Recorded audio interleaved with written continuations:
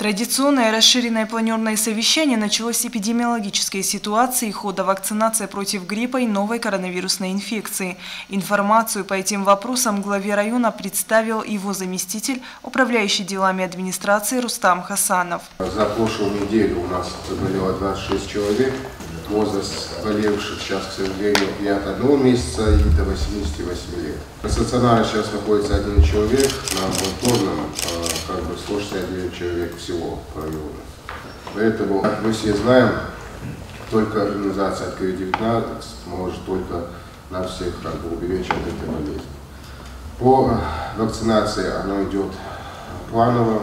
А, Три пункта у нас работает. По вакцине по наличию у нас достаточно. Поступило еще на прошлой неделе. 800 доз у нас есть по району.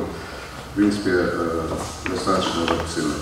И ганковый вак детская тоже в наличии, 65 доз. Отдельно по, иммунизации против гриппа.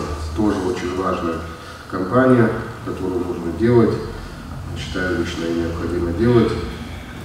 Всего привито на сегодняшний день у нас 4194 человека, взрослых 3486 и детей 1308. Далее о проводимой работе по достижению показателей KPI дерева цели и о грантовой поддержке социально ориентированных некоммерческих организаций рассказала заместитель главы района по экономике и социальным вопросам Марета Тугланова.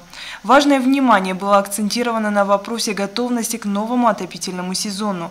По данной теме дал разъяснение заместитель главы по строительству, архитектуре и ЖКХ Евгений Глазунов.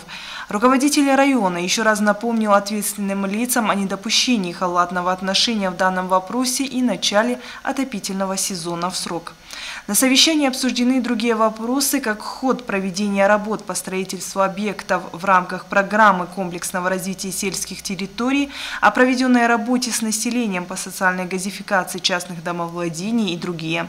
В завершении Заур Хамирзов попросил всех начальников отделов, а также глав сельских поселений более четкого и оперативного выполнения в срок данных поручений и пожелал всем плодотворной недели.